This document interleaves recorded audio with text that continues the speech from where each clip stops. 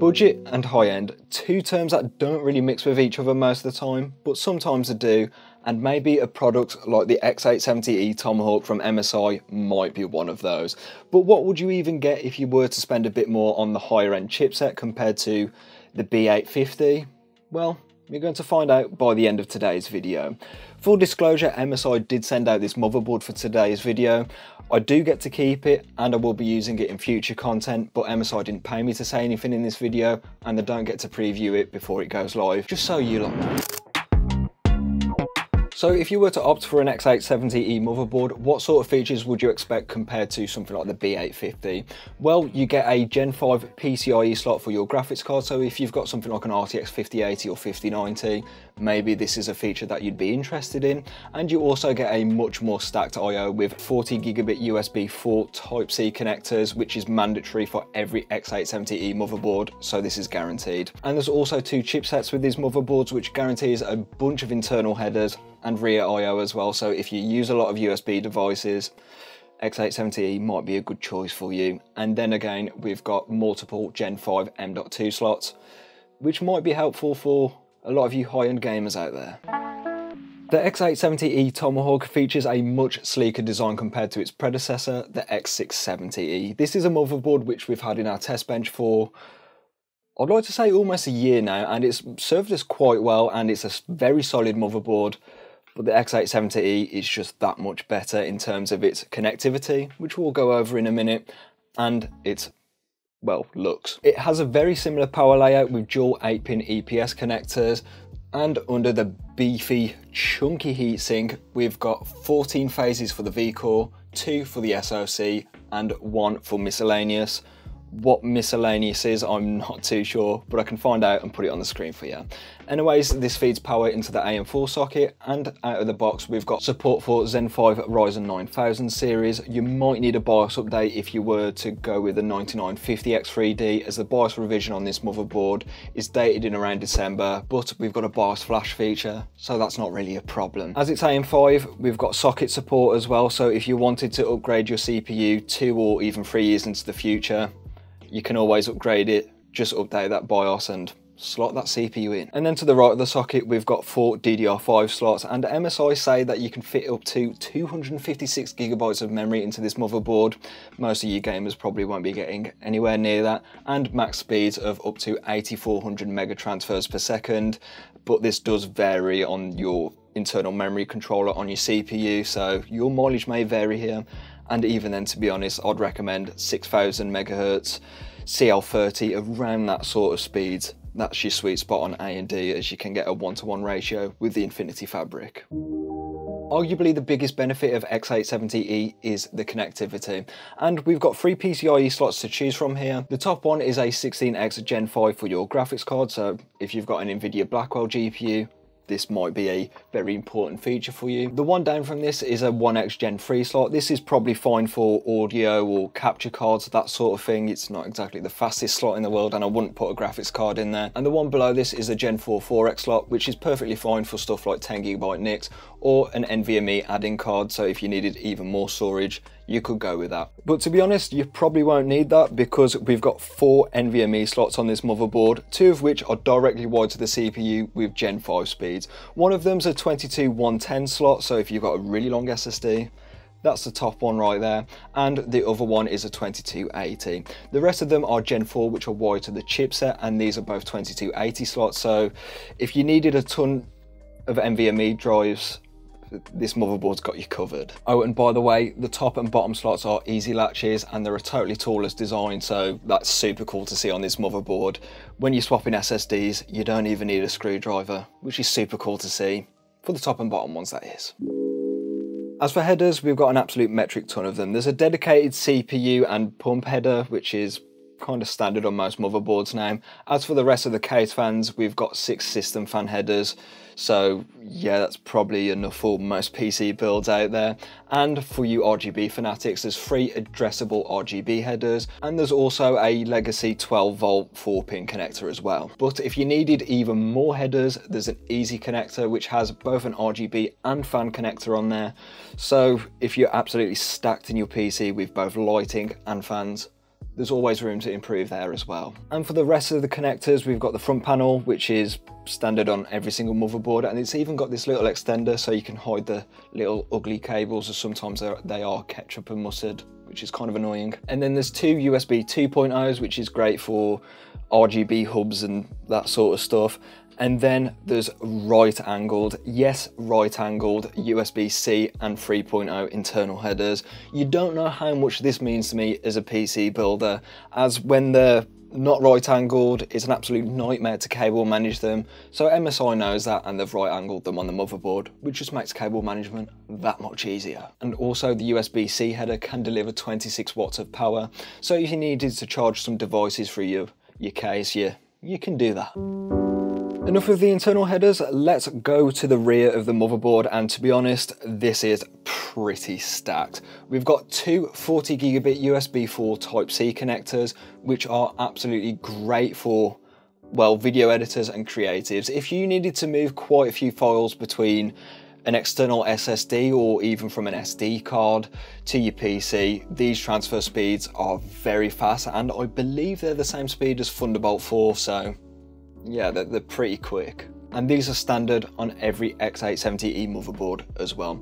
Also, we've got slightly slower 10 gigabit USB Type A and C connectors, which are still plenty fast enough for most people. And then we've got three USB 3.0 5 gigabit ports and then we've got four of the legacy USB 2.0 ports, which are perfectly fine for stuff like mice and keyboards and other wireless dongles, that sort of stuff. As for networking, that's covered by a Realtek 5G LAN Ethernet port.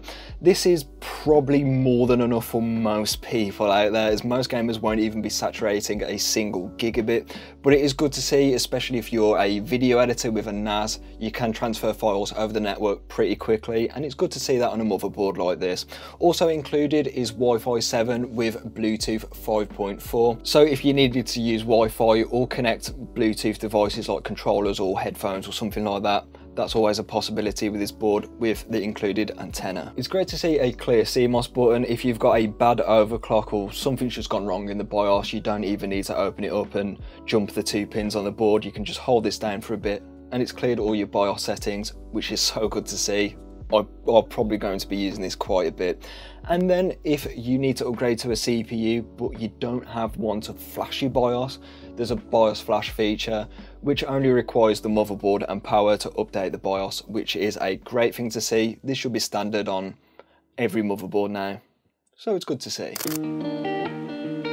And speaking of the BIOS, MSI have given theirs a fresh lick of paint. They've done an overhaul of the UI, especially with the, the MAG series, and I think it looks quite a bit better than the previous ones.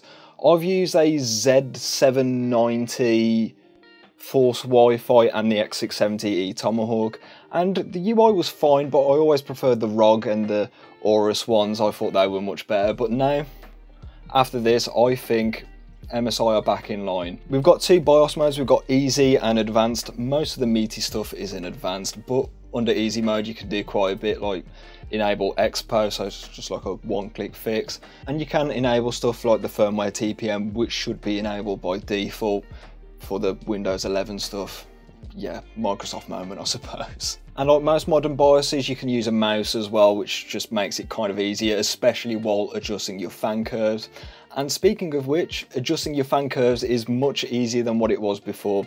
On the Z790 and the X670E, it was like kind of laggy with the mouse most of the time, but now it seems like it's pretty smooth. So if you wanted to go in and change, say, okay, I want to change this fan curve ever so slightly here, like that, it's not as laggy anymore and it's a bit more responsive.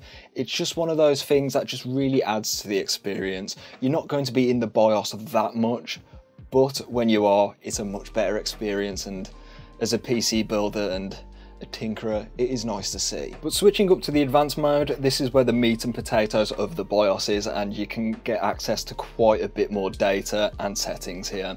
The first page is the system status, so you can see like all the sort of like drives that are connected. We've only got one, which is a crucial two terabyte NVMe, and you can see the the date and stuff like that. The date is out of whack, but yeah, that, that probably needs changing. Anyways, you can come to advanced and change things like UEFI. So if you needed I don't know, legacy support, you could always enable CSM. Most people don't need to enable that at all. And towards the bottom of this page is AMD overclocking. Here you can tweak your Ryzen processor and what I like to do is Precision Boost Overdrive.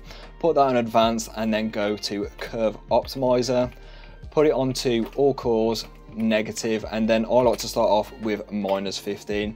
What this does is it essentially allows your Ryzen CPU to use less power while operating at the same frequency. Therefore it's kind of like undervolting in a way. Next we can go into overclocking. Here you can tweak quite a lot of memory settings and most people will just enable Expo and call it a day. To be honest, you'd probably be fine with that. But if you wanted to tweak I don't know, the U clock equals mem clock. That gets the most memory performance out of Ryzen processors. You can always do that. To be honest, at 6400 mega transfers, it might be a bit of a, a struggle on the 7900X, but we can always try it and if we mess it up there's always that clear CMOS button on the back of the motherboard to clear all of the BIOS settings. But if you truly wanted to change all of your memory settings you can go to advanced DRAM configuration. Here you can tweak so many settings like the cache latency and all of the subtimings. So if you wanted to mess around with these yeah you can do but if you know what you're doing here you probably already know where it is in the BIOS anyway so there is that. I'm probably just going to leave this alone now because I can't really be bothered. And then under security, there isn't really that much here that you'd need to tweak with. It's stuff like trusted computing, which is the FTPM module, which you should have enabled if you want to use Windows 11. And then the secure boot, there's no reason to keep this disabled unless if you're using legacy stuff. So most people just have that on anyway and just leave it there. And then we've got the boot menu.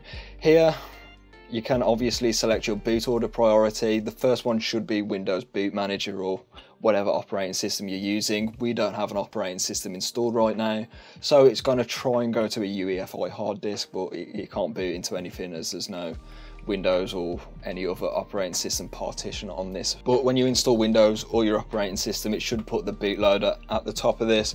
So you shouldn't really need to manually adjust this. It's mainly for tweakers and see if anything's gone wrong. And then last up is save and exit. You can save all of your changes here and you can do a boot override. So if you wanted to boot into a bootable USB or something like that just for a one-off time, that's where you can go through there. You don't need to change your boot priorities or anything like that. And then lastly, we can save all of our changes and reboot. And what this will do is it will save all the settings that we've done like Expo or XMP, or if you've done any precision boost overdrive or anything like that. And you can save that and it will reboot the system.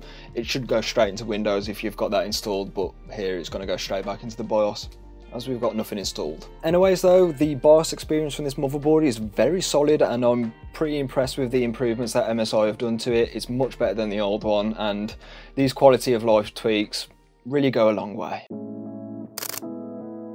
So, for its £330 MSRP, which it can be found for lower, I'll have it linked in the description below with my Amazon affiliate links. So if you want to pick it up, you can do.